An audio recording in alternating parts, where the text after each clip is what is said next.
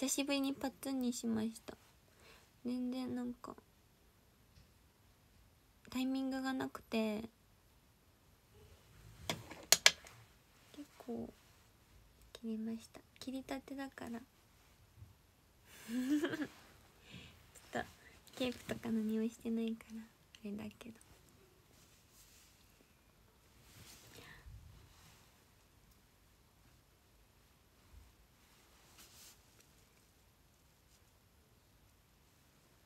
終わってから切った。時間なくて。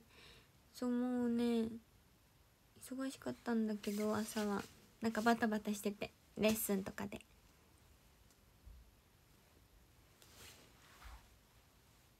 ちょっと薄めにしたらいいのかな。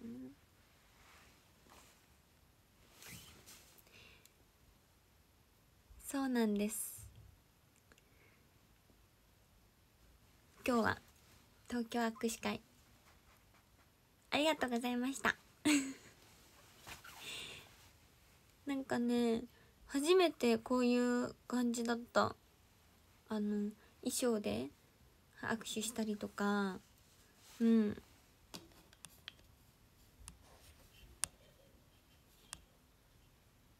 おシーズンさん。ありがとう。くま。ありがとう。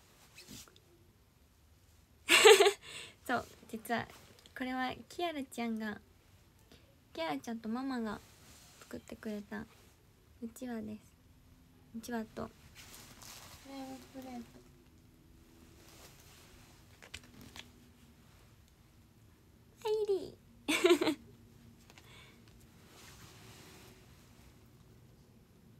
あとみんなが持ってるであろう愛理ちゃんもいます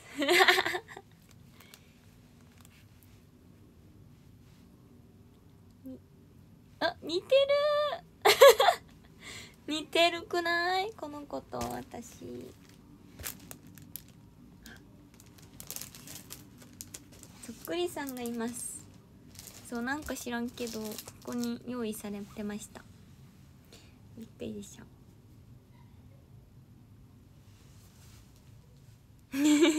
似てないとこまで。そりゃそうなんだ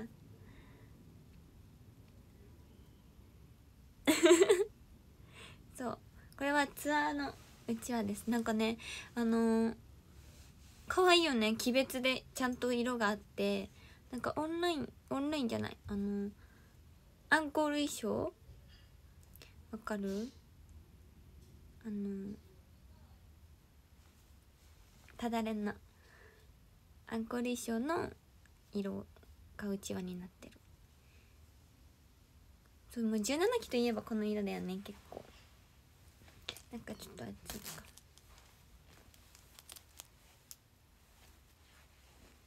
今日は初めてのねなんかこういうなんか今日ツインテールの方が多くて同期もあの先輩も最強ツインテールやってた先輩方がツインテールで合わせてたみたいでそうでツインテールの方なんかあの同期もみんなツイン系が多かったので大人っぽくいこうと思ってこの髪の毛をやっていったらなんか知らないけど水島美恵ちゃんに「愛ちゃん今日押さないね」って言われてショック。あれ？大人っぽくしていったつもりが。ってなりました。何？あ！顔。ありがとう。ジュリちゃんありがたわです。タワー。今のは何？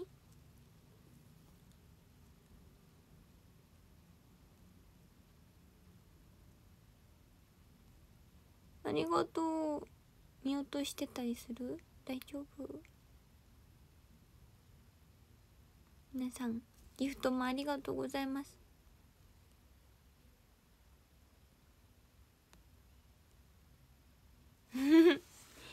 そうなの。なんかちょっと光強い気がする。ちょっと待ってて。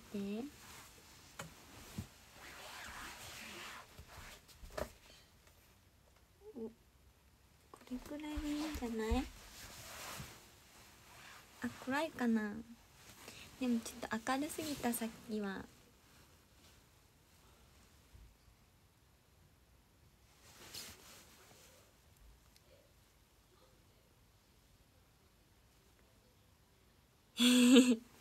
そう。そうなんです。そしてねその10枚目のあのアルバムが発売決定しました。やった初アルバムです私から。私が参加するのは。初めてです。え20って言ってた？怖怖すぎ。そう。そしてその選抜リード曲の選抜メンバーに選んでいただきました。いつもありがとう。ありがとう。え ?2 になってた？怖っ。怖いって。20じゃない。10です。10ありがとう。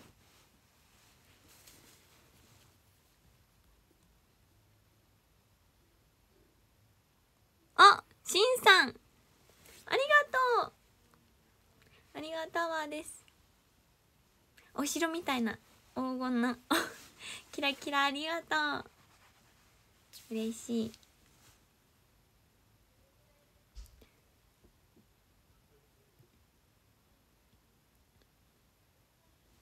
そう初めてねツーショット写真会というものに参加します。はい。楽しみ。めちゃめちゃめちゃ。でどうなるんかな。ちょっと。楽しみ。楽しみしか言ってない。け どなんかね楽しみなの。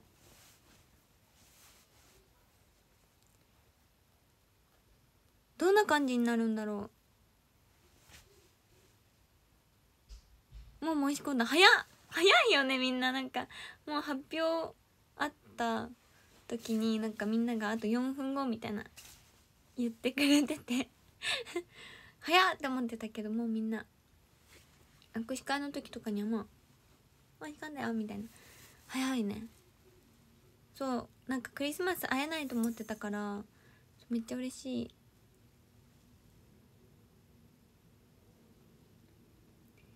そうなんです。カバー曲っていうどうなんだろうね。めちゃくちゃ。楽しみ。どんな感じになるのかな。あいしょ。失礼。カバー曲どうなんだろうね。昭和からへあの令和って言ってました。だから最新新しい曲まで。うんムズムズする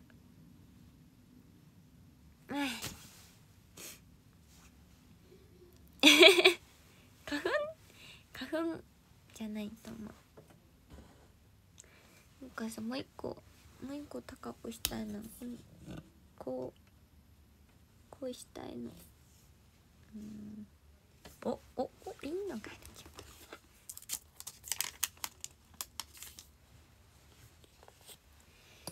えー、なんかどんな曲に参加させていただけるのか。楽しみです。あ来た来た。うん。よいしょ。ここかな。うん。でも私結構あのなんだろう。アルバムのツーショット写真会とかめちゃめちゃ憧れてたタイプだから。めっちゃ嬉しい。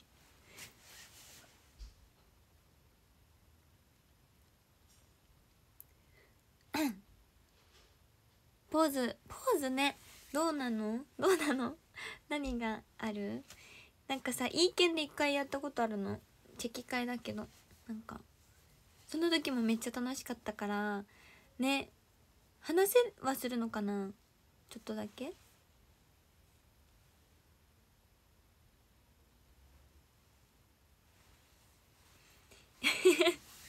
あのファンミとかの時はグループ写真会とかあって。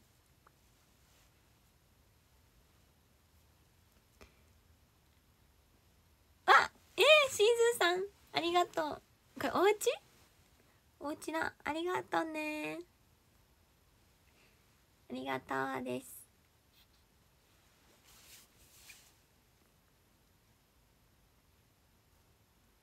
なるほどね。ポーズ決めの時とかはちょっとお話できる。そっかそっか。なるほどね。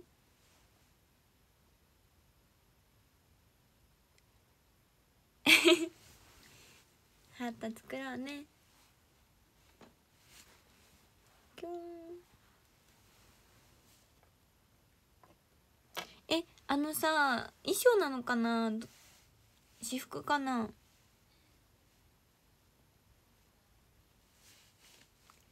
私服だったらどうしよう。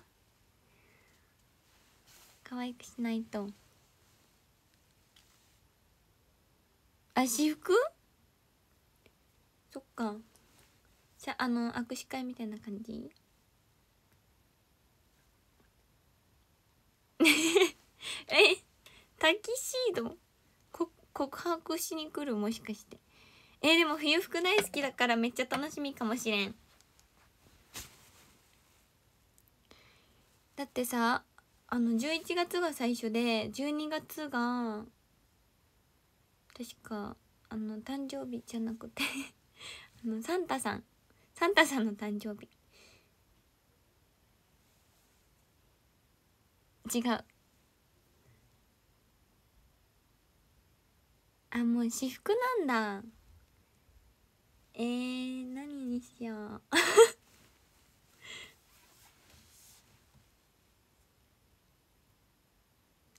ね。12月はサンタさんが可愛いかも。えこれライトなんじゃない？ああ怖い怖い。これこれ光らせたらだいぶねちょっと一回やってみていい？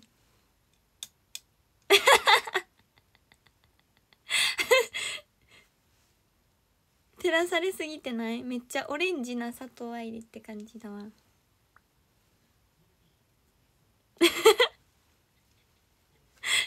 じわじわくるんだけど。ちょっ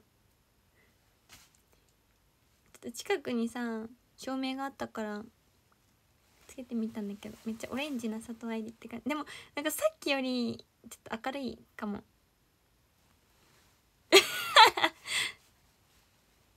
夕日。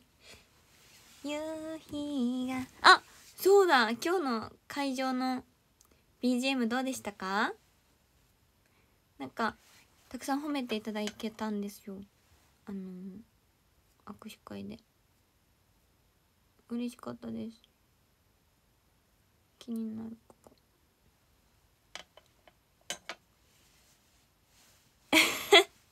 嬉しい。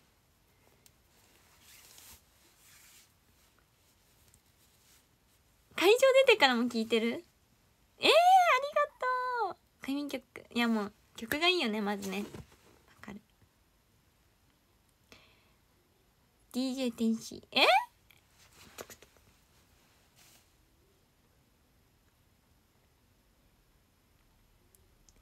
ねめっちゃさ私も今日聞いててえめっちゃいいってなってた。一人で。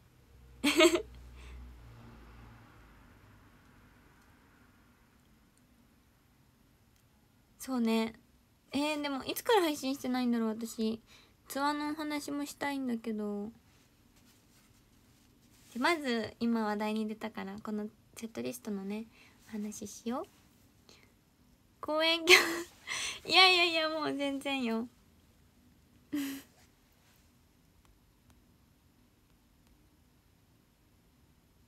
あありがとうせなちゃん。ありがとう。頑張った。あんたは偉いよ。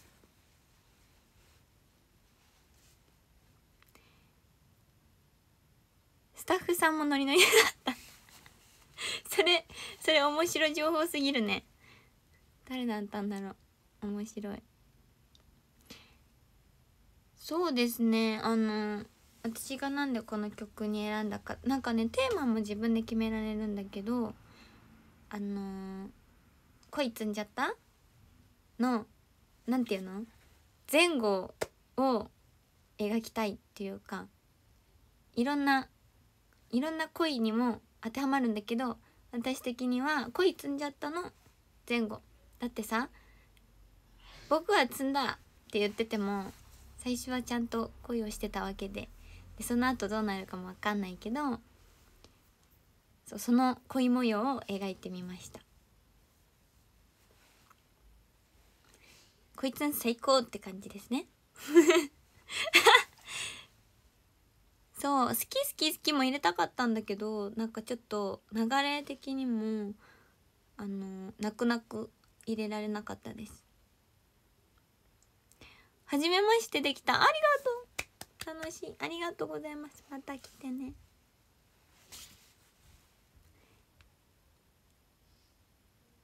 そうなんです。付き合っちゃダメなんですよこれは。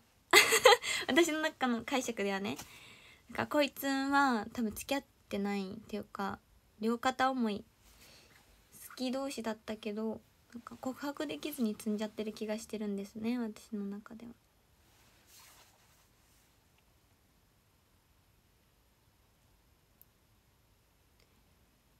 そうなの。そう。好き好き好きも大好きだよ。コンサートでやったよね。楽しかった。好きだと答えて。もっとあなたを好きになるから。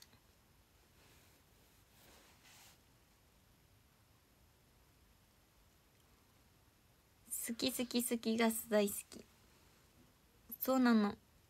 ずっとずっともうめっちゃ入れたくてどこに入れようって感じだったんだけど。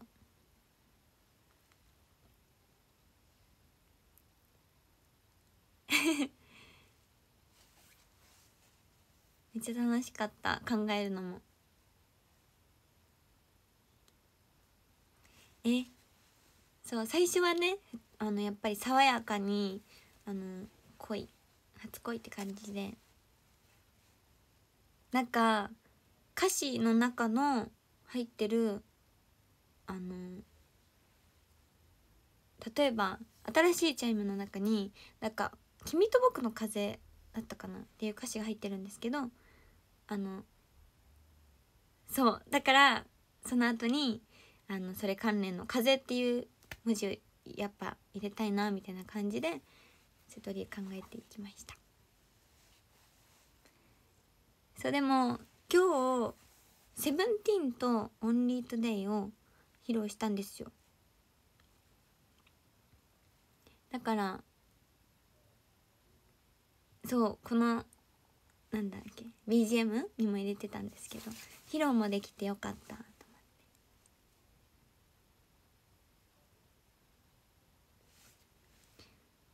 そう「君は僕の風」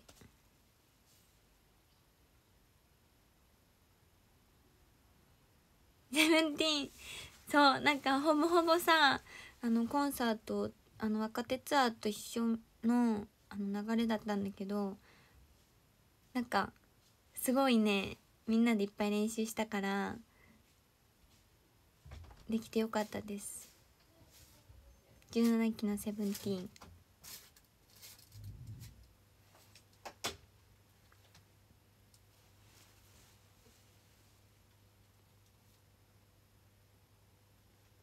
いいよね。オンリートでめっちゃ楽しかった。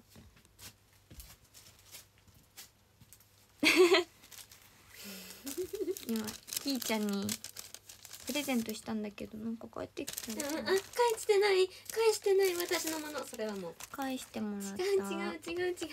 違う宣伝したらどうって。見宣伝したらどうって持ってきただけ。見える？こちら。劇場公演の第2弾？の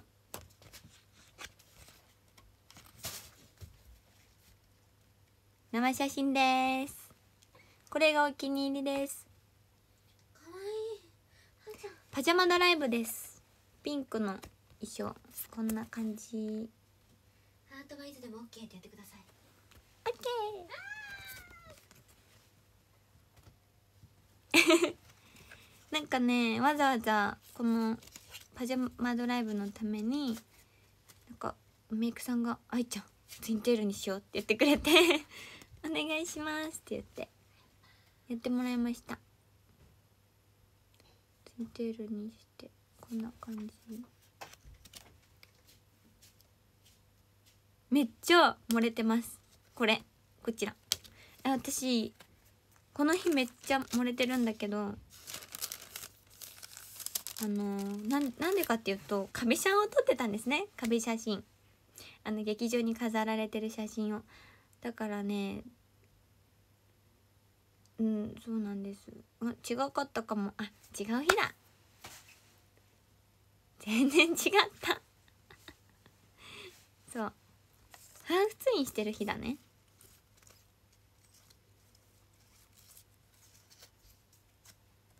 全然違った。ちらも。これは私の大大大好きな鉄な衣装です。手をつなぎながら衣装。なんか漫画風になっててとっても可愛いんですよ。こちら。こんな感じです。ドドーン。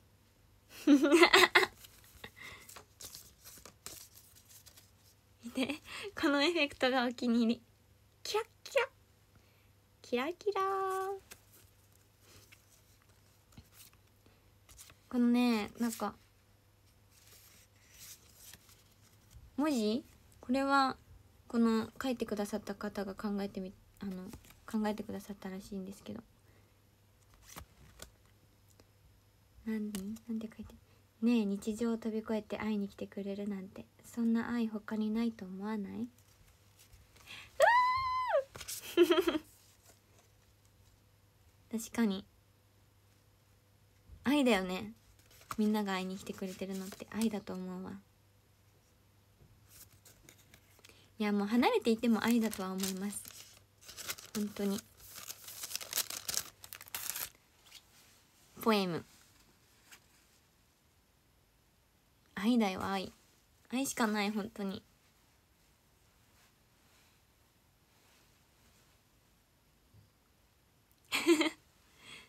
そうこちらはあのーもう買えるのかなわかんないけどぜひゲットしてください。第2弾です。第5弾です。うんわかんない。でもね今回の大丸東京店さんはとのコラボはもうねたくさんやってもらっててプリクラとかあのもちろん衣装展もそうですしこうやって生写真もな結構あるよね。何個もあって。あのイラストレーターさんともコラボさせていただいて。いいね。あ萌え合い。ありがとう赤ずきんくまちゃん。ありがとう。今日もありがとうな。老子が。昨日はね星屑テレパスのイベントもやって。そう。ちょっと暑いから目でもいい、うん、めちゃめちゃ。えプリクラめもう早く撮ってほしい。めっちゃ可愛いの。よスティッチ。ここ。ねめっちゃ楽しかった本当にファンイベント。ね。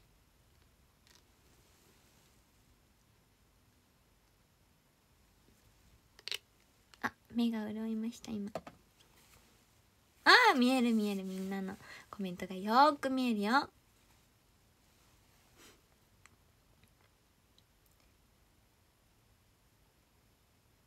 そう。ドラマ。なんかさあのまたたきちゃんとそらちゃんが演じてた。またたきちゃんとあの糸ママちゃんが演じてたあのゆうちゃん。がねこう教室をね走り回るところがねすごいなんかあめっちゃドラマだって感じだった。いつもの感じ。またミカに会えるかな。うん会えたらいいですね。あの DVD とかも発売されるのが決定したので。なんかそれのイベントとかあればいいなって思ってるけどないかもしれないしあるかもしれない。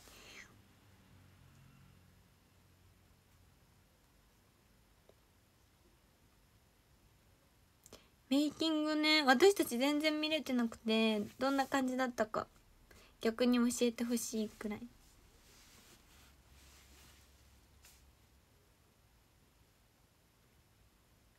ねお渡し指あるといいね。海かわいいさん。海かわいいさんね。そうなんかあのー、ドラマも見てくださってた監督がねあの今回の寸劇も見てくださってたんですけどなんかもうねなんか結構期間が空いたからもう忘れちゃってるかと思ったって 言われたんですけどしっかり役残ってていいねって言ってくれて嬉しかったです。もう全然なんかもうむしろ身に染みてた。身に染みついてた。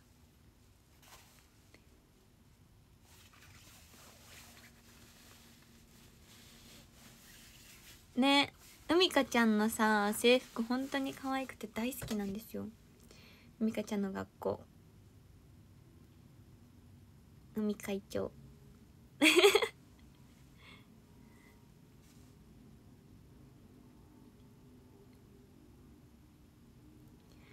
そうねなんかもうみんな仲良しなメンバーだったのでドラマもけあのドラマ期間を経てすごい仲良くなったのであのね。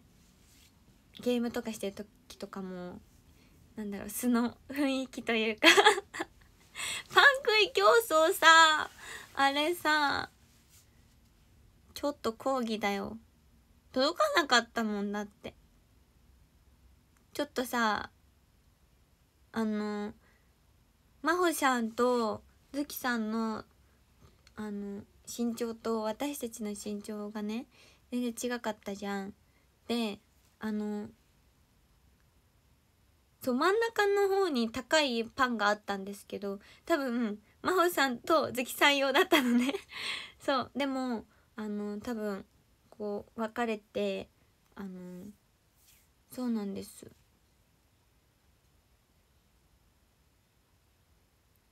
でもももちゃんと2人でね頑張ってたんだけどまあ息はぴったりでした。ことで OK です。でも靴脱いだのはあの私がそう言ったと思うんだけど足をあのひねってしまってですね。だいぶねその昨日結構ズキズキしてて。そう脱いでやった方が楽だったから脱いでみたんだけどそのそしたら高さがなかったね。そういうことか。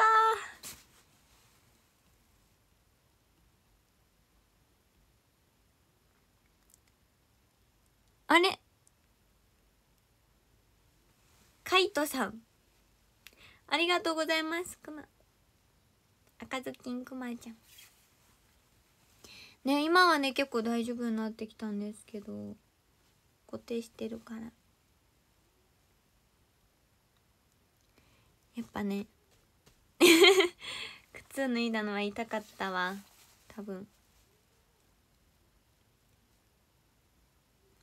ピンときた。確かに。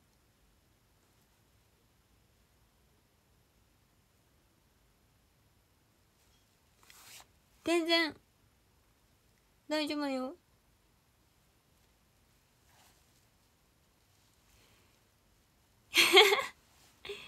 そうねボケててさ。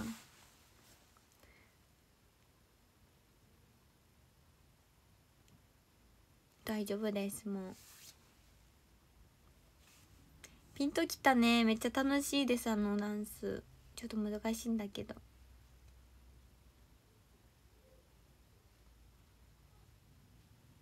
えどうこけたんだろう。わかんないのなんか。気づいたら目の前もうなんか壁みたいな。鼻当たんなくてよかった本当に。鼻つぶれるとこだった。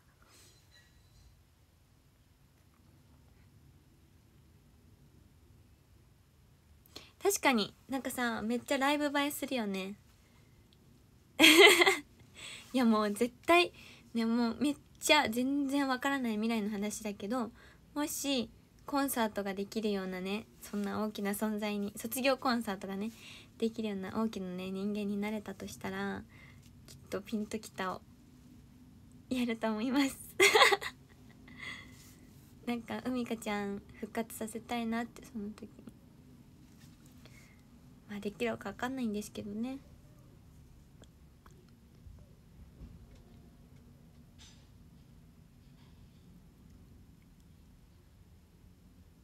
う んもう全然もう私はもう全然まだまだまだまだ頑張らせてくださいって感じなんですけど。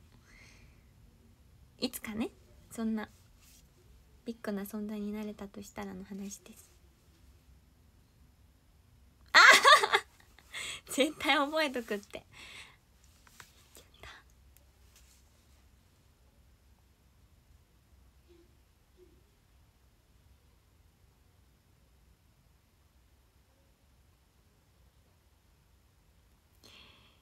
ソロコンね。そうですね。私最近ね結構有名ですね。なんか前まではちょっとままだ自分だけで一人でやるっていうのには不安が結構ありましたけどツアーねいっぱいやれてあのー、またさらにやりたいなっていう気持ちが強くなりましたね。いやでもまずは本当にドボンありがとうって感じなんです本当に。ドボンコンサートね。うんありがとう。去年めっちゃねななんか悩んだっていうかいろいろ泣いた。泣いたっていうかそうそうそう。のがあったので嬉しいです。またあの出張公演が今週で私は終わりになるので落ち着くかな？それが終わったら。ちょっと落ち着くのでその間にちゃんとメッセージとかお名前とか書いて用意するのでお礼配信はちょっとまた後になっちゃうんですけど10月中にやります絶対に。待っててね。でも私もちょくちょくねドボンやったりしてるんですよ。もうなんか癖になっちゃって。そうなの。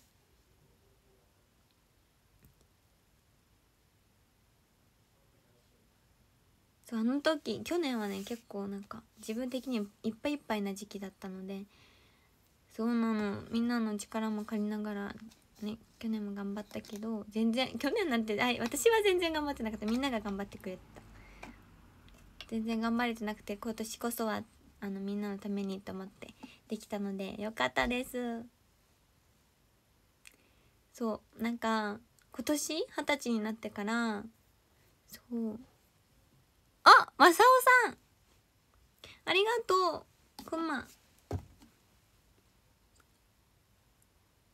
とう 赤ずきん。そうなんです。だから二十歳になってからというかセンターにならせていただいてから結構ねあのみんなに応援してくれてるみんなになんか恩返しできたらいいなっていうのはそうなんかさらに思うようになったからなんだろう。何ができるかな自分にって思って。まあまずはね毎日ちゃんとあのお便り送ったりとかミバースとかあの日頃からいつも見てくれてる。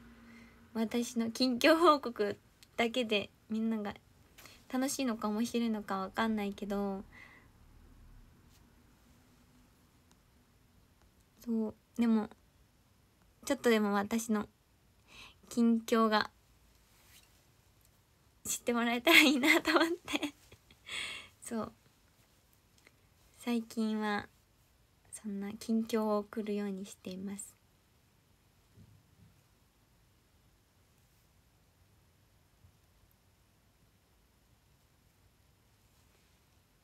そう。あとはねなんだろう。あの意見とかが今はあるからまだだとは思うんだけどあのファンクラブソロあの一人のファンクラブとかもいつかねできたらいいなって思ってます。なんか先輩方があのグッズとかあの公演とかで見ててあのなんだりゆいりさんとかさゆきりんさんとかもさなんかゆきりんさんだったらゆきりんだるまとかのペンライトとかってめっちゃやっぱ可愛いってなるしいいなってなんか一体感あるじゃないですか。だからそういうグッズとかも出したいしなんかみんながね喜ぶような のが作れたらいいなって思ってた。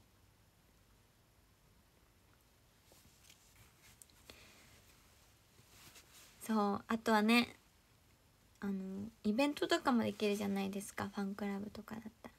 あとファンクラブ限定の動画とか。うん。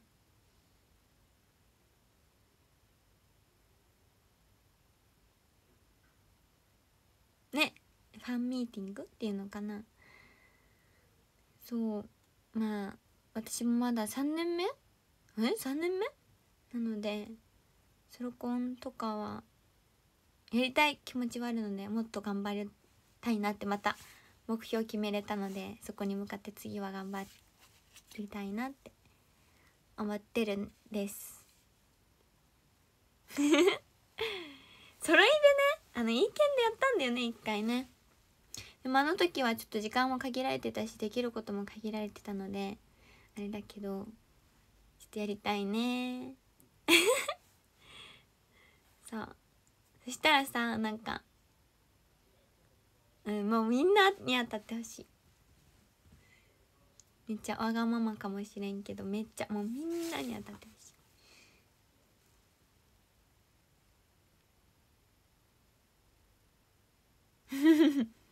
待っててください。いつの日か。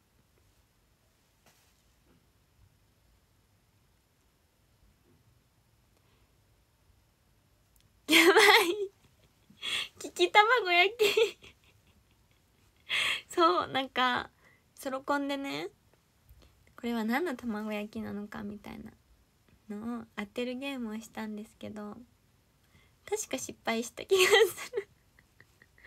うんなんか種類はママの卵焼きキーちゃんの卵焼きコンビニの卵焼きなんか高級卵焼きみたいな4つくらいだった気がする。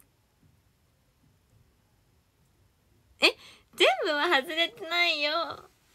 なんかママはママとお姉ちゃんは当てた気がする。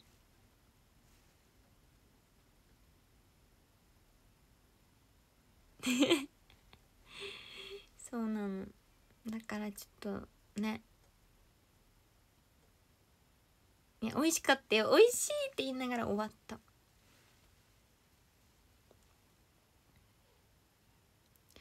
そうあとなんだろうね。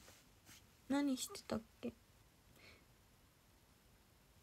あでもツアーであの制服レジスタンスをセンターでできたのはすごくなんだろう。ファンの皆さんもねアイスのみんなも言ってたけどなんか「いいね」って言ってくれてすごい嬉しかった。前回はもう前回の動画見たんですけど全然表情がなってない。あの子はダメですもん そうもう先輩あの大西桃香さんと本田仁美さんとあの最初やらせていただいたんですけどもうね私の表情が幼すぎていや。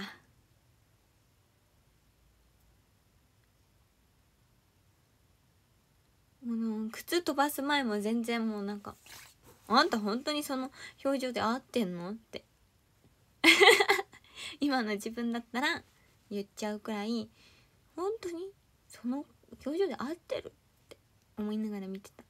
もうでも1曲目だったんですよユニット。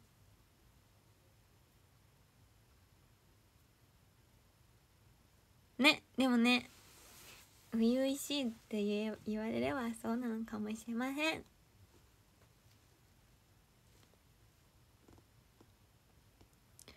そうですね今回の映像はまだ私は見れてないんですけど。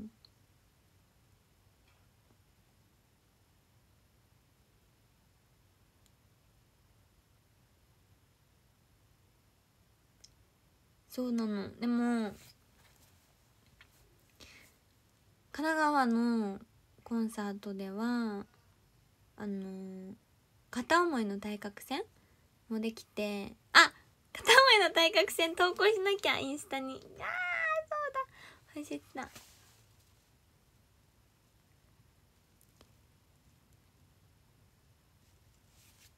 載せます。さあ。片思いの対角線があのなんか今日ね聞いて思ったの感想を聞いて思ったんだけどなんかすごい好評いただけて嬉しかったです。あの「ザ公演曲」っていう曲をなんかツアーでやることにすごい意味があるなって思ったしねえ私もやりたかった曲だからすごい嬉しかったです。そうしかもゆなちゃんといとももっていうあのただいま恋愛中公演でね同じポジションの3人なので一緒にねユニットをやる機会なんて絶対ねただれとかじゃないと思うしそうだから嬉しかったです3人でできてめっちゃねあの練習の時も「こここうでしたっけ?」とか「ここ合わせましょう」とかそう私からも言うようにはしてたけども全然もうむしろ。いやパフォーマンスの面ではね絶対させなきゃって思ってたんだけどあの日常生活においてはお世話してもらえてる2人なのでなんか安心感というかがありましたね。あの3人は。なんかそんなちょっと大人っぽいですよね。2人とも。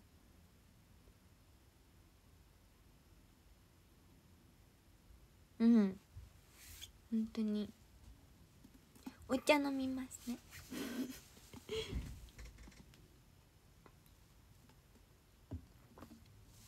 うん。おいしい。そうなの。しっかり者ですあの二人は。面白いけどね。そう糸ももが一番年上なんだよねあの3人の中だと。ももちゃん。ももちゃん愛梨ゆなちゃん。もうねもうゆなちゃんの方がお姉ちゃんに見えるやっぱり。なんだろうね。18期の中でも結構しっかりしてるタイプだし。うん。なんだろう。わかる？ゆなちゃんの長女感。めっちゃわかる。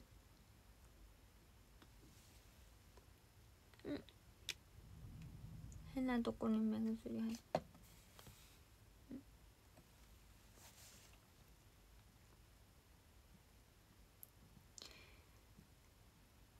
そうなのよね。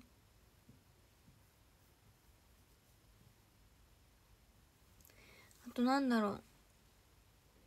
今神奈川の公演も曲がねすごい良くて。もうなんか一つ一つ言ってたらキリがないくらいでした。ね。キャパシティとかポップスターとか？ポップスターはね一回やったことあったんだけど。あそうだ。神奈川はね限定神奈川公演限定であのダンスブリッジダンスパートがありましてあの鬼別で2人ずつくらい18期は3人かな？でかっこよかった？嬉しい。ありがとう。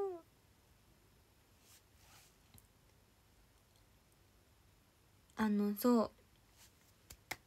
嬉しいです。なんかもともとダンスレッスンを今受けてるんですけどあの AKB の曲とは別であのルー先生っていうあの素晴らしい先生にね教えていただいていて普段からああいうちょっと難易度の高いダンスをしててその中でも今回のツアー挨拶回りのねダンスは結構合わせないとちょっとなんだろう不格好に見えちゃうダンスだったからそう。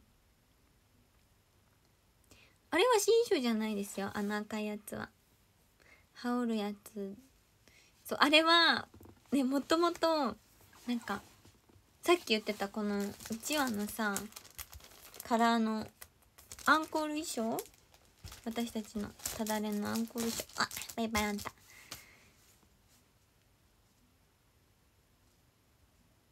あのそう鬼別のアンコール衣装でやる予定だったんですけどちょっとさすがにこんなにかっこよく踊ってるのに結構ちょっと可愛く見えちゃうなって思ってそうマネージャーさんに相談させていただいてあの衣装さんとかにもたくさんあのちょっとお時間を使わせていたあのお時間を使わせてしまったんですけど そうあの用意してもらえてそうよかったです。かっこよくできて。あの暗闇に赤い衣装がすっごいね合ってて本当に。スタッフさんありがとうって感じです。そうあのねもともとは可愛い衣装のままやるって感じだったんだけどなんだろう世界観にちょっと合わないかもって思ってそう言ったらしっかりやってくださって。ありがとうございますそうあれねあのビリビリってねこう早パンって脱ぐ振りがあるんだけどそこがねすごい大変でした。難しかったです。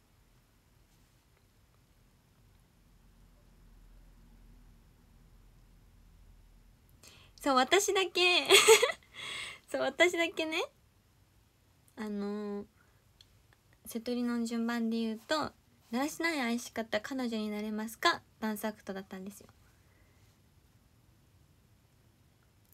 そうそれであのー、ほとんどがだらしない愛し方メンバーで私だけだったの「彼女になれますか?」がで他はサリーちゃんといとももちゃん19期ちゃんだからもともと入ってなくてそうだからでもね結構余裕ありました衣装さんに手伝っていただきながら早着替えして出るっていう感じ。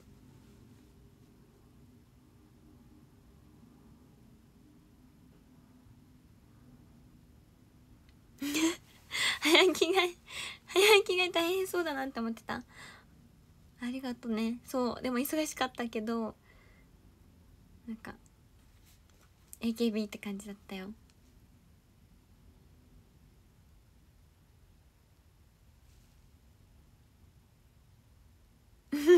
確かに。早着替えして早着替えだったよね私。そうなんだよ。でもさやっぱ AKB ってコロコロ変わるのがすごいと思わない？衣装がどんどんどんどんさ変わっていくのってさ。なかなかないじゃんやっぱ。同じ衣装だったりとか。ユニットだけ変わったとしてもさこう公演って本当に変わるじゃん。僕体とかもさあのジャケット脱いでみたりとか結構あるじゃん。あれだけでも結構雰囲気が変わるからそう早着替えといえば AKB だなって思った。いやステージ裏は大変だよ。は大変なことを見せないのがアイドルだから。そうでも大変そうだなって思ってもらえてるのはめっちゃ面白い。着替えてるんだろうなってみんなが思ってくれてるのかなって思うと優しいねってなるみんな。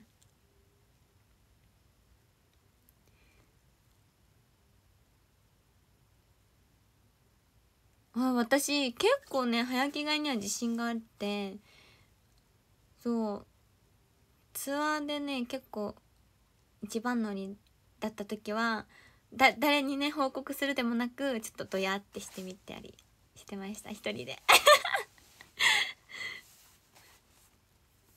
やっと一番だ。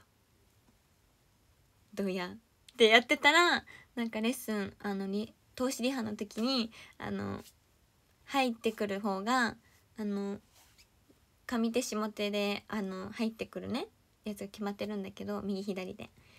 そうステージ袖の右か左かで決まってるんだけどドヤってしてたらなんか全然違う。であの入り口のところで待っちゃっててあれ？みんな来ないなと思ってたら一人で違う方に いたりとかそう早着替えめっちゃ一番に終わってんのにそう違うところにいたりとかありましたね。思い出です。ねちょっと恥ずかしいよねそれはさ。まあでも本番じゃなかったから平気。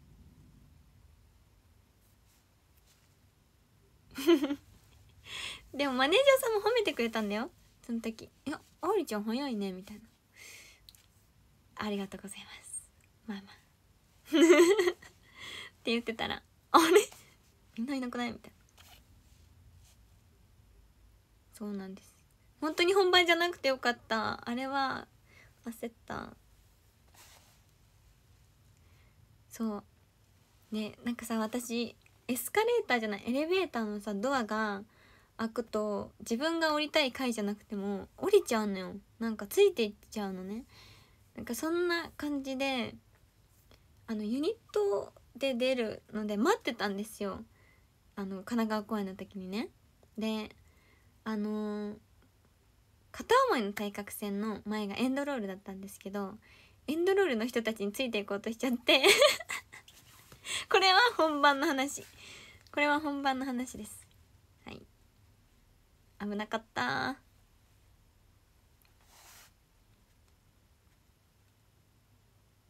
前の人についてっちゃうのよ。油断。まだまだ油断は禁物だよ。はあそうなんです。エンドロールね。エンドロールはやったことあります。あのヒーサの卒コンで。じゃじゃじゃじゃじゃじゃん。じゃじゃん。そう。ありました。あとめっちゃはあ！これは失敗なんですけどあの私大声ダイヤモンドあの絶対さ M1 は大声ダイヤモンドだったじゃん？挨拶回り。だったんですけどあのー、そのねあの煽りがあって最初の。そこでどこだったかな忘れちゃったんだけどあのタイガーファイヤーサイバーってミックス打ちがあるじゃないですか。あのねそこでなんか一個足んなくてなんか変な言葉言ったんだよ絶対。覚えてる人いる？うん確か1日目だったかな。1日目か2日目のお昼。言えなかったんだよ。うんオリジナル。なんかなんか言った。ファイバーみたいな。タイガーファイヤーサイバーファイバーダイバーバイバー。じゃあじゃあだっけ？じゃん本当は。タイガーファイヤーサイバー。サイバーまで言えたかな？なんじゃなんじゃ？みたいな感じで言った。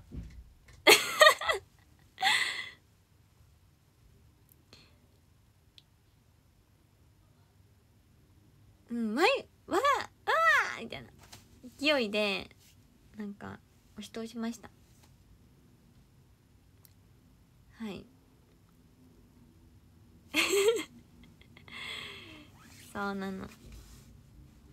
でも今までちゃんと言えてたからうんなんでだろうね。で分かるの。ミックス難しいあでもあの最高かよで覚えました。ミックス。ジャペ。アペ。ナラ。キナ。みたいな。からミョンホントゥスケ。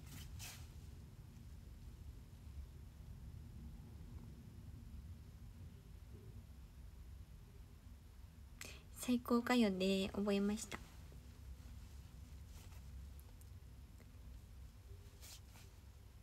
アイヌ語なだよねやっぱり。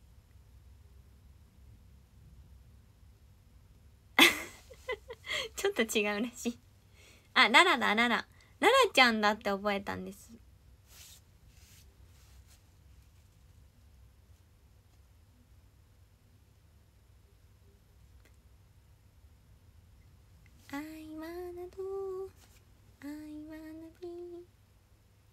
ガチ恋工場は覚え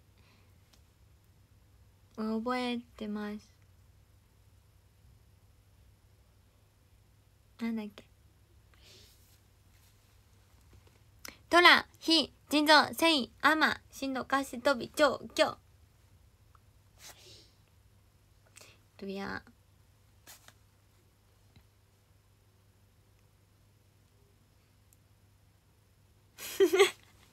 バレてるのしんどい 覚えてなさそうな覚えてます。正解です。あのあの時は覚えてました。最高歌謡をちゃんと披露してた時はちゃんと覚えてました。やっぱり何々かわいいよ。好き好き大好き。やっぱ好き。やっと見つけたお姫様。好き好き大好き。やっぱ好き。言いたいことがあるんだよ。やっぱりプリンくんかわいいよ。好き好き大好き。やっぱ好き。やっと見つけた。あお姫様じゃないよプリンくんは。ねえプリン様。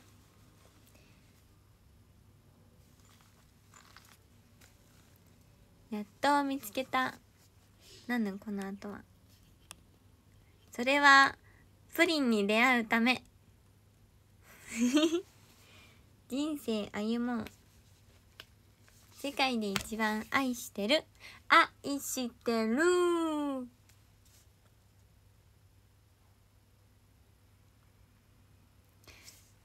正解はプリンくんでした。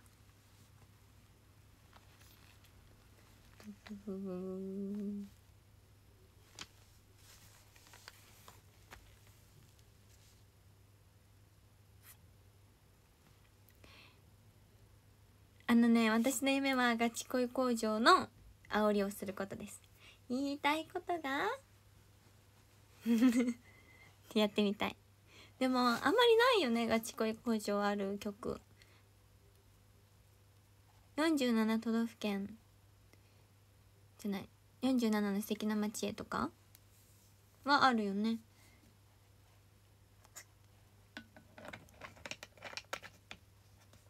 ね私も47しか知らないです。47の。えなんで？もっとあったら楽しいのにね。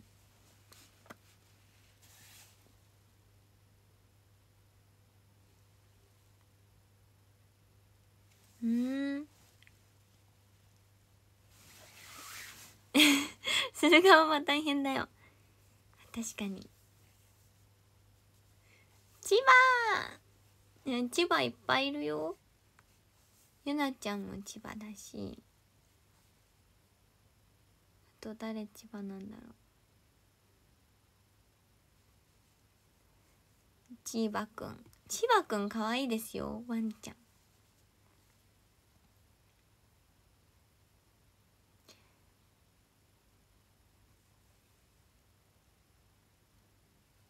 あれアズはあれじゃない？東京じゃなかった？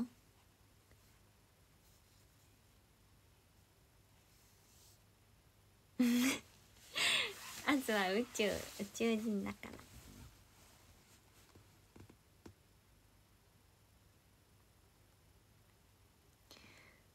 ねえ二十期ちゃんに一番いたらいいな。仲間が。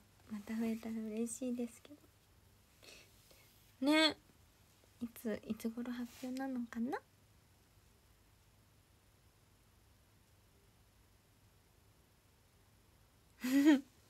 えー、あとなんか話してないことあるかな？なんか配信終わったら思い出しそう。でもあの出張公演もすごい楽しかったです。秋田と岩手。あとちょっと前ですけど千葉。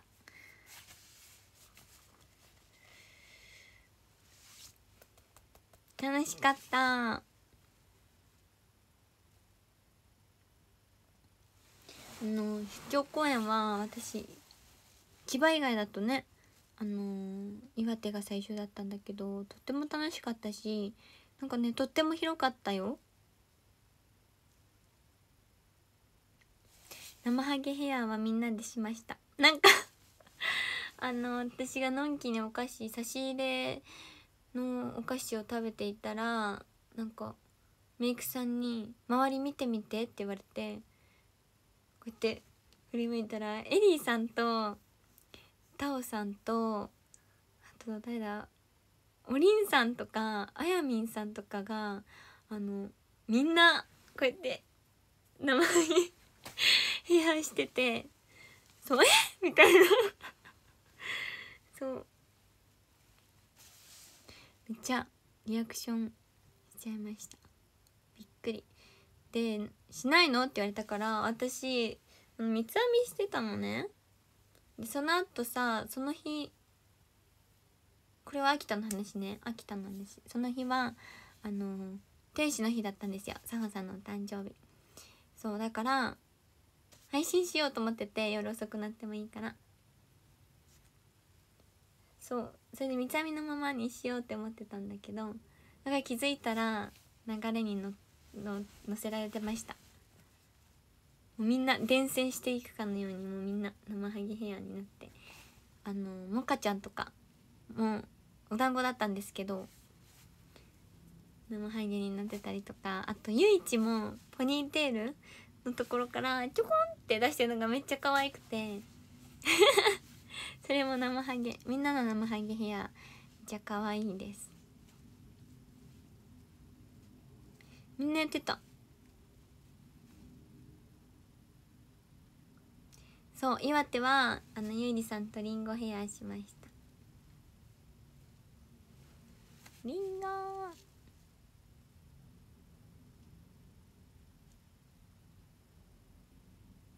45分に終わります。配信。あとちょっとお付き合いください。ね AKB めっちゃみんな可愛い。可愛いやんみたいなファンの人もめっちゃ言ってくれてて。よかった。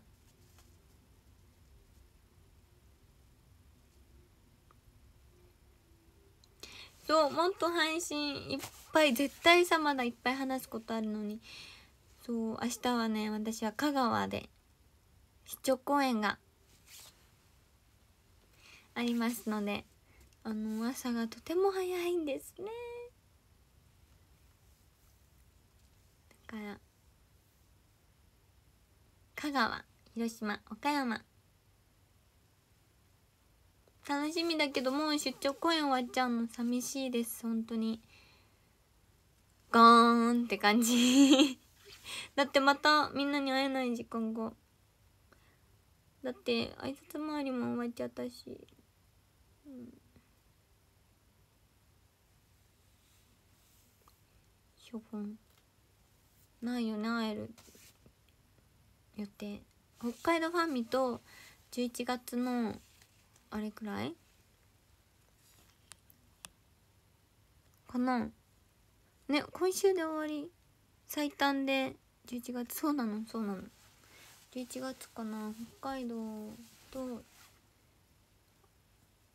あれやってあれかアルバムの方のツーショットの方が11月なので。ピエ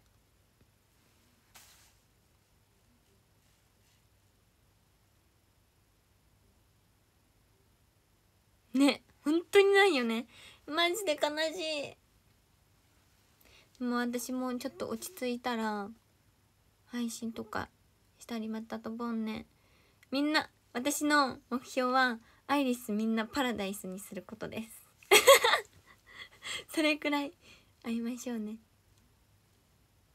もうパラダイスになってる人はもうパラダイス中のパラダイスにします。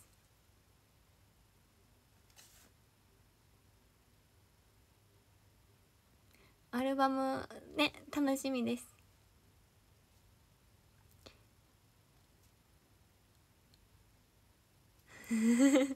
いやもうね私がドボンが終わるまでにみんなをパラダイスにさせたいと思います。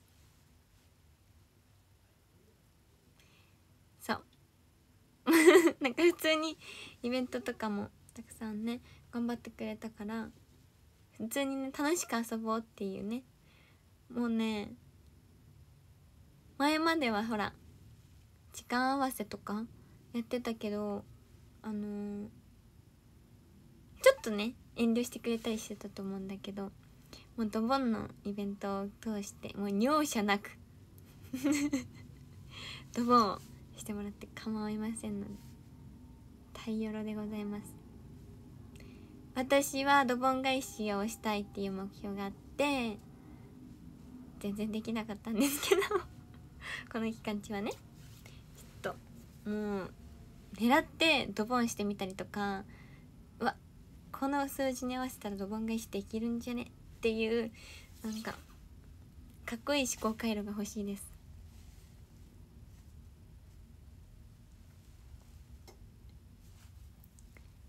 そうそのためにその日のために私も頑張って経験を積んでいきたいと思います。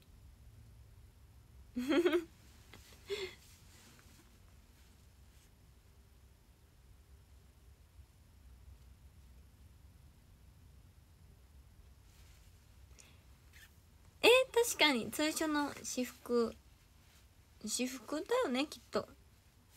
私服決めないとな。でも12月はきっとサンタさんになります。うん楽しみ。12月あれ？2524? ん？違うか。22とかだったっけ？12月。いつでしたっけ？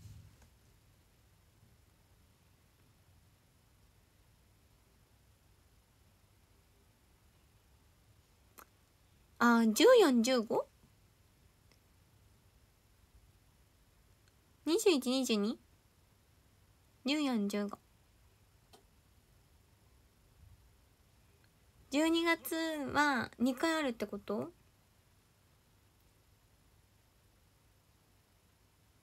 なるほどね。オンラインは2122あーなるほどね。難しいな。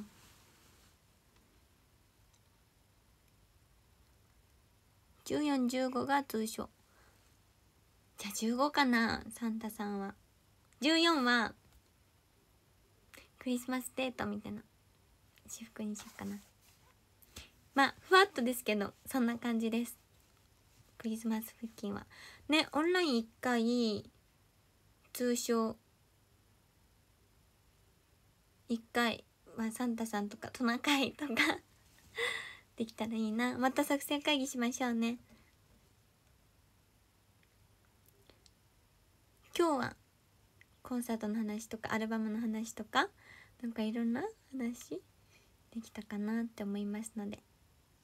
それではそろそろランキングを読みたいと思います。どこだっけ？これだ。それでは13位から読ませていただきます。13位ひろあきさんありがとうございます。12位ワイプさんありがとうございます。11位ケイセティさんありがとうございます。10位しのさんありがとうございます。ありがちょうで9位きのさんありがとうございます。8位カイト。アース。愛ちゃん。ナンバーワン。愛ちゃんナンバーワン。ありがとう。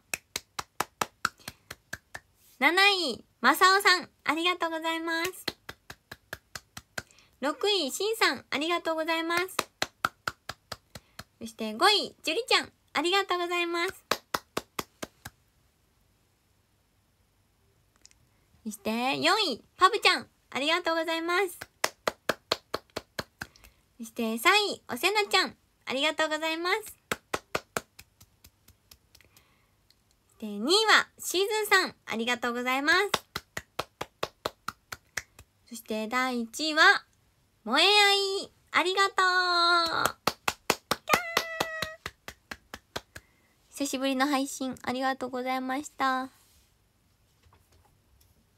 りがとう。ちょっ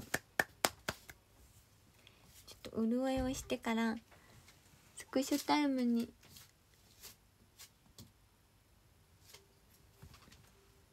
潤った。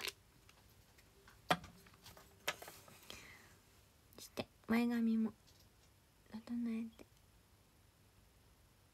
今みんなが鏡に鏡の気持ちになってます。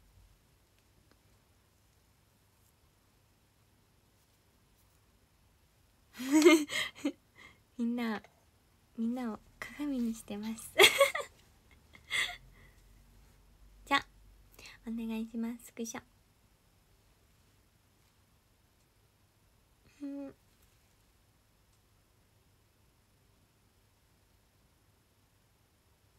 なんかもちもちしてる。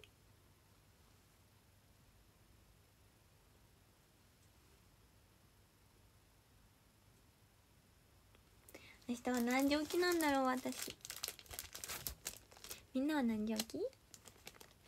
愛ちゃんです。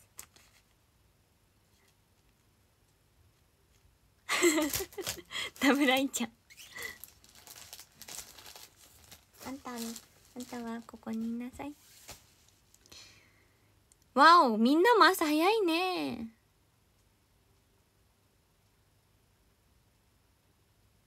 一緒に早起き頑張ろうね。私も早く寝ます。じゃあもう早めに終わった方がいいな。みんな早く寝なさい。一緒に早起き頑張りましょう。そっか明日月曜日だもんね。そんな週末の夜に配信見てくれてありがとうございました。愛理も早く寝ます。また明日。バイバーイ。ありがとうございました。おやすみ。ハマってんねこれ。でも今日鍵になっちゃう。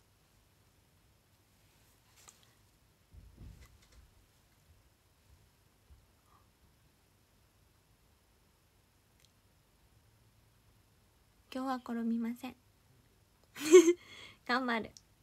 ありがとう。おやすみなさい。見てくれてありがとうでした。バイバイ。